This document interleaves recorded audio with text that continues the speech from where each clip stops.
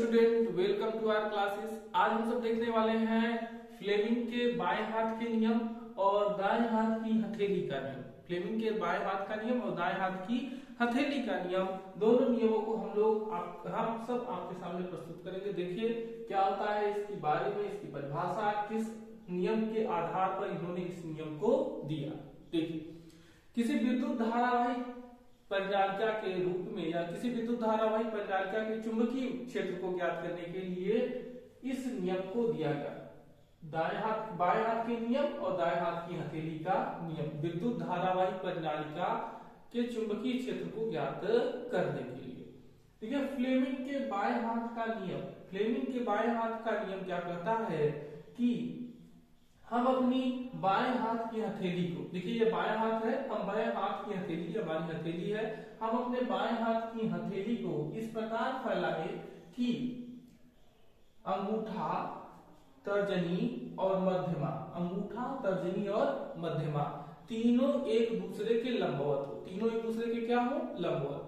अंगूठा, तर्जनी और मध्यमा, तीनों एक दूसरे के लंबवत। जैसे मान लीजिए ये चीज़ें ये ये वाली अंगुली हमारे पास ऐसे ऐसे होगा। ये देखो, बाहर निकाल नहीं सकते, इसलिए आप समझ सकते हैं कि ये ऐसे है, ठीक? अब यहाँ से देखो, ये अंगूठा, तर्जनी और मध्यमा, तीनों एक दूसरे के क्या है? लंबवत है। ये देखो, यह भी 90 बना रहा है, यह भी 90 बना रहा है, और यह इसके साथ देखेंगे तो अब इसको काट कर यहाँ तो रखेंगे 90 लेकिन बना रहा है, ठीक है?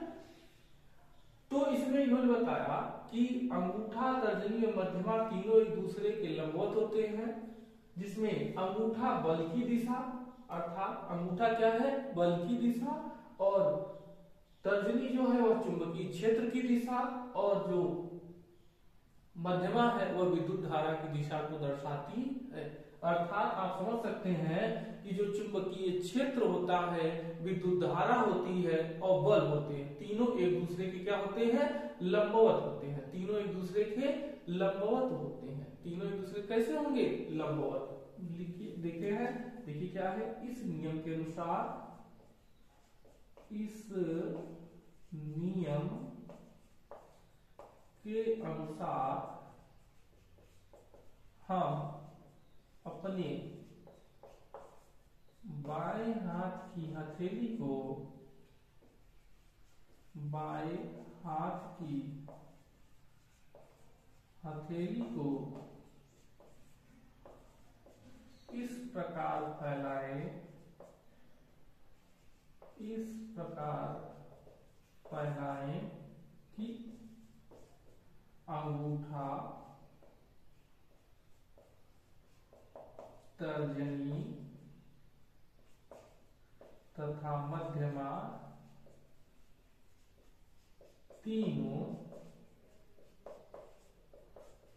एक दूसरे के एक दूसरे के लंबवत हो। एक दूसरे के क्या हो? लंबवत हो। तीनों एक दूसरे के लंबवत हो। जिसमें अंगूठा बल की दिशा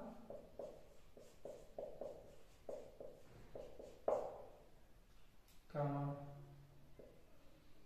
तीनों एक दूसरे के लंबवत है अंगूठा बल की दिशा, तर्जनी, चुंबकीय क्षेत्र की दिशा, चुंबकीय क्षेत्र की दिशा, तथा मध्यमा विद्युत धारा की दिशा, विद्युत धारा की दिशा दर्शाती है। मध्यमा क्या करती विद्युत धारा की दिशा को दर्शाती है। तो आप ऐसे इसको कर सकते हैं डबल म्यूटेड कारण तो यह क्या है? फ्लेमिंग के बाएँ हाथ का नियम। अब दाएँ हाथ की हथेली का नियम, इस नियम के अनुसार, क्या है? इस नियम के अनुसार। हम अपनी हथेली को, कौन सी हथेली? दाएँ हाथ की। इसे हथेली है इसे रख दिए तो हम अपनी दाएँ हाथ की हथेली को इस प्रकार फैलाएँ। आप ऐसे रख सकते हैं यहाँ से। देखो, दाएँ हाथ की हथेली। तो दाएँ हाथ की हथेली। दाएँ हाथ की हथेली के नियम के अनुसार हम अपनी हथेली को इस प्रकार फैलाएँ कि क्या होता है? कि अंगूठा, जिसमें अंगूठा क्या होगा? धारा की दिशा और जो चार अंगुलियाँ है, वह क्या चुंबकीय क्षेत्र की दिशा और इनके बीच, चारों अंगुलियों और अंगूठे के बीच जो लंबवत है, वहाँ पर बल की दिशा को दर्शाता है। क्या है?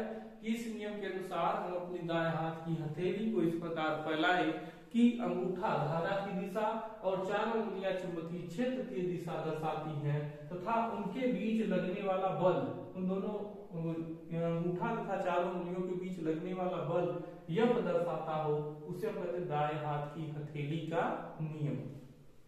इस नियम के अनुसार, इस नियम के अनुसार हम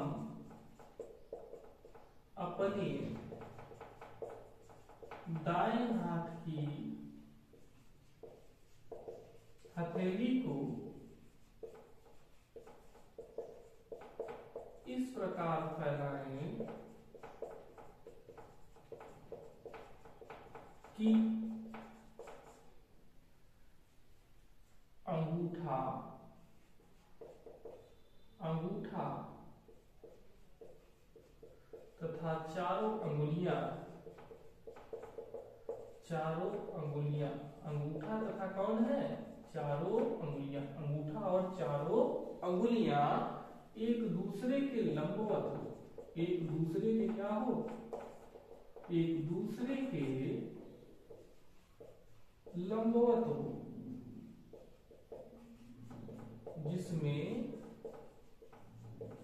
अंगूठा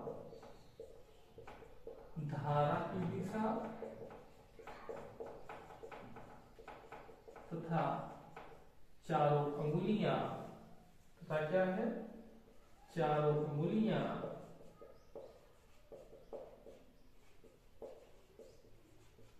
चुंबकीय क्षेत्र। चुंबकीय क्षेत्र की दिशा को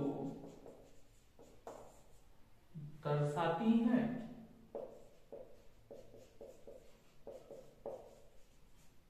चुंबकीय क्षेत्र की दिशा को दर्शाती है। तो यह था आपके पास क्या?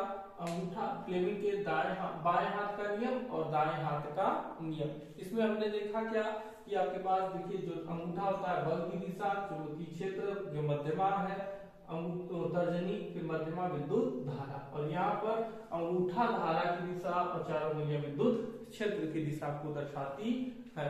तो यह था आपके पास फ्लेमिंग के दाएँ बाएँ हाथ का नियम, यदि आपको वीडियो पसंद आया तो वीडियो को लाइक करिए शेयर करिए और सब्सक्राइब नहीं किए सब्सक्राइब करना ना भूलिए। Thank you so much video को एंड तक देखने के लिए।